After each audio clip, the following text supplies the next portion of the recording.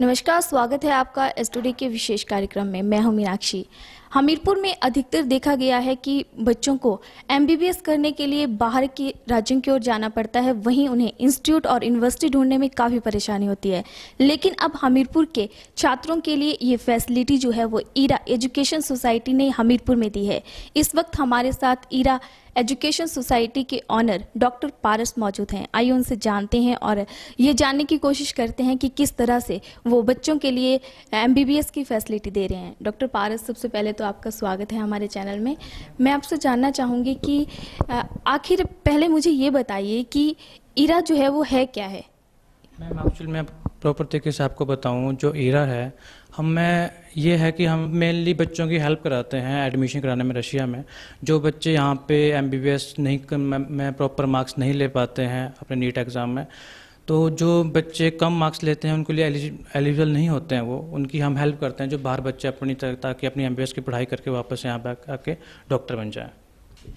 साथ ही अगर किस तरह से आप जो है वो बच्चों से कांटेक्ट करते हैं और बच्चों को किस तरह से जो है वो वहाँ विदेशों में जो है सेटल किया जाता है खासकर एमबीबीएस में? मैम एक्चुअली सेटलमेंट की आपको बात बताऊँ तो हम बच्चे जैसे कोई बच्चा इंटरेस्टेड होता है हमारा ऑफ़िस है यहाँ पे गांधी चौक में मेन जो है। तो उसके बाद बच्चा हमारे पास आता है, इसका बहुत इजी प्रोसेस होता है एडमिशन का। हम बच्चे का हमें बेसिकली जो बच्चे के एडमिशन के लिए हमें टेंथ की मार्कशीट चाहिए होती है प्लस टू की मार्कशीट चाहिए होती है और हम बच्चे का पासपोर्ट चाहिए होता है। तो इन तीन डॉक्यूमेंट से हम बच्चे की एडमिशन जो है, हम यूनिवर्सिटी में कन्फर्म कर देते हैं। हिमाचल में अगर बात करूँ तो हिमाचल में आपकी कितनी ब्रांच है अभी तक? फ़िलहाल तो स्पेशली हमारी हमीरपुर में ही ब्रांच है और हम बड़े बेटर तरीके से यहाँ पे काम कर रहे हैं और हमें काफ़ी, हम लास्ट ईयर भी यहाँ पे near about twenty six student भेज चुके हैं यहाँ से। और हमारा जो एक पार्टनर है वो वहाँ पे फरीदाबाद, दिल्ली के नज़दीक में है। वहाँ से हम उनके साथ टाई अप हैं। हिमाचल के कितने बच्चे हैं अभी तक जो यहाँ से भेज चुके हैं? आप हमीरपुर से ही भेजते हैं बच्चे या फिर पूरे हिमाचल के बच्चों को बाहर भेजा जाता है? मैम, हमारा मेन फोकस पूरा हिमाचल ही है। हम पहले प्रायोरिटी पूरे हिमाचल को ही देते हैं। और उसके बाद आपको बात बताऊँ तो मेनली बच्चे यहाँ से जाते हैं, मंडी से जाते हैं, पालमपुर से जाते हैं, हमीरपुर से जाते हैं और धर्मशाला से जाते हैं। तो हमारे पूरी यूनिवर्सिटी में वहाँ पे near about two thirty years बच्चे होंगे। उसमें से हमारे कम से कम सेवेंटी से सेवेंटी फाइव वहाँ पे हिमाचल से बच्चे पढ़ रहे हैं। तो हिमाचल से काफ़ी ज़्यादा बच्चे आज के टाइम में बाहर स्टडी करने के लिए जा रहे हैं। अगर बात करूँ हिमाचल की तो पहाड़ी राज्य है। यहाँ पर लोगों को दिक्कतें होती हैं कन्वेंस करने में, बाहर जाने में। लोग जो हैं वो यहाँ के बहुत सीधे साधे हैं। तो अपने बच्चों को बाहर भेजना थोड़ा उनके लिए मुश्किल होता है। तो क्या आपको इस फ़ील्ड में काम करते हुए कभी दिक्कत आई? मैम, दिक्कत ये होती है इस फ़ील्ड में कि जो हम, जो हमारा कंसल्टेंसी चार्ज होते हैं, जो अदर कॉन्ट्रैक्टर होते हैं, वो काफ़ी ज़्यादा हाई मांगते हैं उस चीज़ को।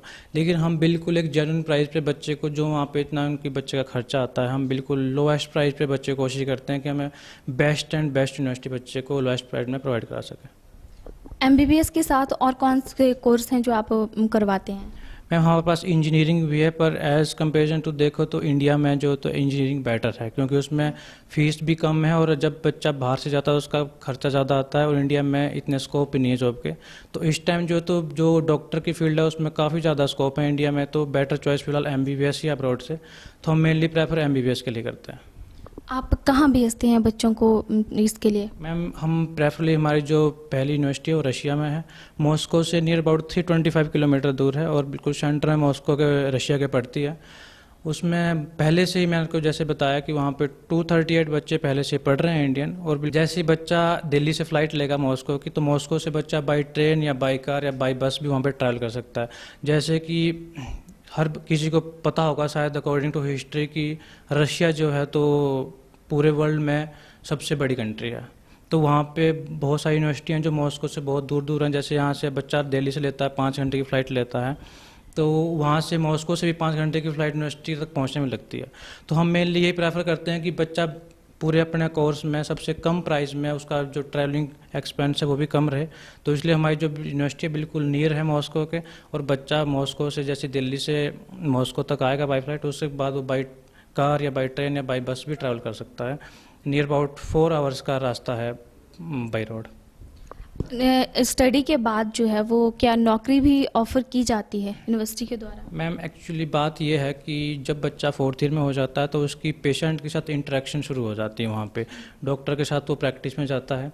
तो उसमें रशिया में ये है कि बच्चे को अगर वहाँ पे फोर्थ ईयर से बच्चा अगर इंटेलिजेंट है, उसे प्रॉपर तरीके से रशियन लैंग्वेज आती है क्योंकि रशियन लैंग्वेज की हमें ज़रूरत तब पड़ती है कि मान लो कि बच्चा जैसे कंप्लीट स्टडी अपनी थर्ड ईयर कंप्लीट कर देता है। तो फोर्थ ईयर में जो भी पेशेंट आएँगे वो रशियन में ही बात करेंगे। अगर बच्चे को रशियन इतनी आती है तो वहाँ पे स्कॉलरशिप के मतलब बच्चा अपनी जॉब भी साइड वाइज वहाँ पे कर सकता है। हॉस्पिटल में ट्रेनिंग में, वो साथ को वहाँ पे स्कॉलरशिप भी स्कॉलरशिप के नाम पे मतलब पैसे भी पे किए जाते हैं पर मंथ लैंग्वेज की आपने बात की तो यहाँ की और वहाँ की लैंग्वेज में काफ़ी फ़र्क है। तो यहाँ के बच्चों को कभी वहाँ दिक्कत आती है तो आपसे कांटेक्ट करते हैं कि इस तरह की प्रॉब्लम्स फेस हो रही हैं। बताया जाए तो शुरू में बच्चा यहाँ से जाता है, उसे दो ही लैंग्वेज आते हैं मेनली हिंदी या इंग्लिश और वहाँ पे रशिया में जो तो आज के टाइम में हर एक आदमी नहीं बोलता है। रशियन जो इंग्लिश लैंग्वेज है। जैसे आप इंडिया की बात कीजिए, जैसे कोई बाहर से कोई हज़ार बच्चा पढ़ने के लिए आ रहा है तो आप भी उसे हिंदी में बात करो इंग्लिश में कोई बात नहीं करना चाहेगा। तो उसके साथ हम बच्चों को ये करते हैं कि साथ साथ में हम रशियन क्लास भी बच्चे की शुरू करा देते हैं, ताकि इन फ्यूचर मान लो जब बच्चा फोर्थ ईयर में पेशेंट कर इंटरेक्ट करेगा, बात करेगा तो उसे रशियन लैंग्वेज में दिक्कत ना आए। एडमिशन लेने के लिए क्या प्रोसेस है और किस तरह से कौन कौन से डॉक्यूमेंट जो हैं वो वहाँ के लिए भेजने पड़ते हैं? जैसे कि मैंने आपको पहले बताया, बिल्कुल सिंपल प्रोसेस है। हम बस बच्चे के हमें तीन डॉक्यूमेंट मेनली चाहिए होते हैं। एक टेंथ की मार्कशीट चाहिए होती है, उसके बाद हमें प्लस टू की मार्कशीट चाहिए होती है, उसके बाद हमें पासपोर्ट चाहिए होता है। और जब बच्चे का इन्विटेशन यूनिवर्सिटी से उस बेस के ऊपर आ जाता है, उसके बाद हमारे जो डॉक्यूमेंट हमें ओरिजिनल डॉक्यूमेंट चाहिए होते हैं, तीनों जो होते हैं उसके बाद हम जो डॉक्यूमेंट टेंथ प्लस टू के हैं उसका हम अपोशल कराते हैं एक्सटर्नल अफेयर से। उसके बाद बच्चे का वीज़ा के लिए चला जाता है। और जैसे बच्चे का वीज़ा आता है हम टिकट बुक करके बच्चे को डेट बता के उसको हम रशिया ले जाते हैं स्टडी के लिए। इस पूरे प्रोसेस में कितना समय जो है वो लग जाता है? मैम अब अब इसका देखा जाए तो अगर जैसे बच्चा मान लो हमें फ़र्स्ट डे हमें डॉक्यूमेंट देता है सारे और विद इन टू डेज़ हम बच्चे का इन्विटेशन लेटर निकाल देंगे। विद इन टू डेज़ हम बच्चे का वीज़ा के लिए प्रेफर कर देंगे मतलब नियर अबाउट वन वीक में हम बच्चे की एडमिशन वहाँ पे कंफर्म के बच्चे को वहाँ पे ले जा सकते हैं आफ्टर वन वीक अगर बात करें आपकी तो आपने कैसे सोचा कि यही फ़ील्ड जो है आपने चुनी है तो किस तरह से दिमाग में आया कि नहीं इसी फ़ील्ड में काम करना है? मैम एक्चुअली बात यह है कि जैसे अकॉर्डिंग टू एमसीआई हमारे पूरे देश की पॉपुलेशन है 130 करोड़। और उसमें एमसीआई में जितने भी जो उसकी हिस्ट्री है, उसमें ये दिखाया गया कि आठ लाख ही डॉक्टर हैं जिनके पास लाइसेंस है इंडिया में।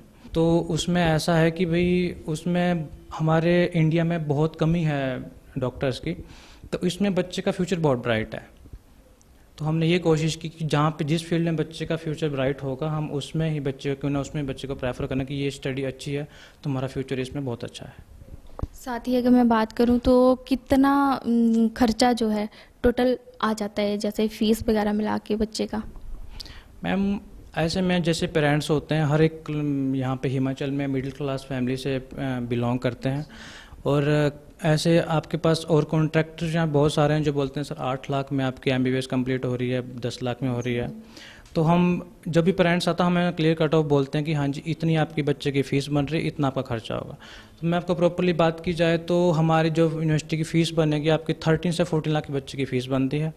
उसमें आपका वहाँ पे गवर्नमेंट हॉस्टल होते हैं, हमारा अपने अपार्टमेंट फैसिलिटी भी है।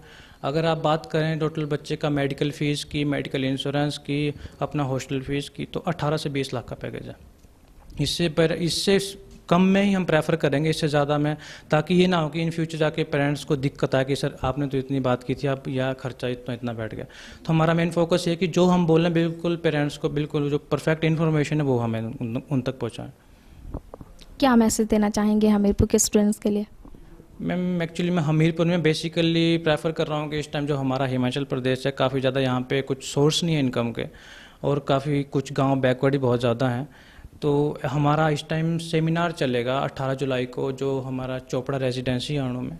वहाँ पे 10 बजे से शाम को तीन बजे तक हमारा सेमिनार है। मैं प्रेफर करूँगी जितने भी स्टूडेंट्स या जितने पेरेंट्स अपने बच्चों को बाहर भेजना चाहते हैं स्टडी के लिए, वो ऊपर हमारे अनु रेजिडेंसी में आए हमारे होटल में। हमारे दो से तीन रशियन डेलीगेट्स भी आएँगे यूनिवर्सिटी से और हमारी प्रॉपर टीम आएगी। या वो आप प्रॉपर गाइड करेंगे एक्चुअली बाहर की कंट्री में एजुकेशन कैसी है, बाहर के लोग कैसे हैं, आपको बाहर रहना कैसे है।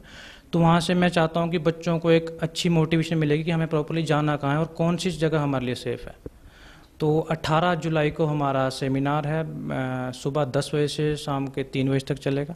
मैं सबको इनवाइट करता हूँ कि सब आके अपना वहाँ पे योगदान दें और देखें कि क्या एक्चुअली बाहर होता क्या क्या स्टडी कैसे होती है। शुक्रिया पारस जी आपने हमसे बात की। तो आपने देखा कि डॉक्टर पारस ने बताया है कि विदेशों में जो है हमीरपुर के छात्र आसानी से एडमिशन ले सकते हैं और अपना फ्यूचर जो है वो अच्छा बना सकते हैं। कैमरामैन के साथ Meenakshi Astral news Hamirpur.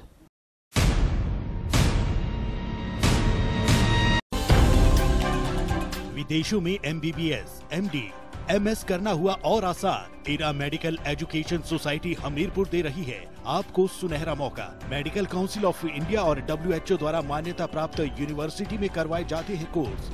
Scholarship की व्यवस्था, विदेशी नई तकनीक और अनुभवों के साथ, शिक्षा के साथ साथ रहने की भी है व्यवस्था। रशिया और यूके में पढ़ाई करने के लिए आज ही आए Ira medical education society Hamirpur. अब विदेशों में M B B S M D M S करना और हुआ आसान। Ira medical education society Hamirpur दे रही है आपको सुनहरा मौका। मेडिकल काउंसिल ऑफ़ इंडिया और डब्ल्यू एच ओ द्वारा मान्यता प्राप्त यूनिवर्सिटी में करवाए जाते हैं कोर्स। भारतीय दर से सस्ते कोर्सों में तीन लाख तक की स्कॉलरशिप की भी है व्यवस्था। विदेशी नई तकनीक और अनुभवों के साथ, शिक्षा के साथ साथ रहने की भी है व्यवस्था। रशिया और यूके में पढ़ाई करने के लिए आज ही आए Ira medical education society Hamirpur.